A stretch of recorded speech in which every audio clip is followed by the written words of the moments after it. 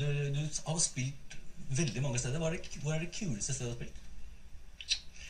Oh, det er vrient. Eh, altså, det er noe spesielt med sånne storebyer, da. Fordi det tiltrekker seg så mye kule folk ikke sant? Som, som kommer på konserter og sånne ting. Så det er liksom, Jeg syns det er Kanaka som spiller i Paris, f.eks. New York er dritgøy. Los Angeles. Men uh, det kan tenkes at det, det tøffeste er i Gjøvik. I Gjøvik? Metropolen Gjøvik? Metropolen Gjøvik. Eh, så har jeg spilt på Gjøvik, så har det rett og slett eh, møtt meg sånt eh, Det er nesten som at jeg våkner opp for å klippe meg armen for å tenke at jeg ikke er i baptistkjerka i Harlem. Det er, det er så voldsomt eh, bra trøkk på um, folk som synger i Gjøvik. De har peil.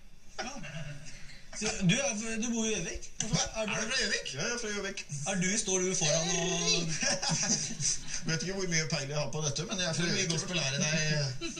Ja, men Gjøvik er en veldig musikkby. Det er veldig tradisjon både for ulike deler av musikklivet der. Så det er jo en det er jo eh, Litt satt på spissen så er jo Gjøvik en by med 3000 musikere og én forfatter. ikke sant? Så det er. Jeg drømmer om å se deg på første rad på Jarle Bernhoft-konsert. Hoppende og skrikende. Hadde ikke det vært gøy? Eller? Det, det får du nok fortsette å drømme om.